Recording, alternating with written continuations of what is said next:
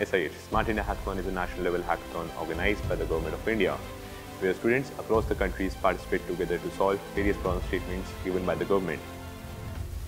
We, the students of Bennett University, Times Group, pursuing BTech CSE first year, chose a problem statement SIH 1324 Air and Water Quality Index and Environment Monitoring System, which was given by Government of Kerala.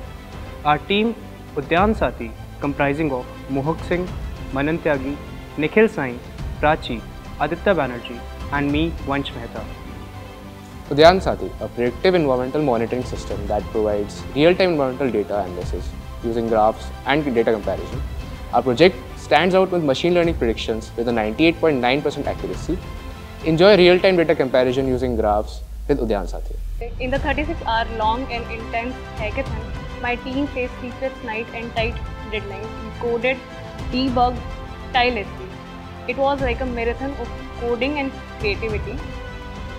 Uh, winning felt awesome not just because of the project but because we achieved this hackathon journey as a team together. We would like to thank our Dean Dr. Abhimansu Sir and entire faculties for their continuous support and guidance. Bennett University Administration has been along with us at every step we took.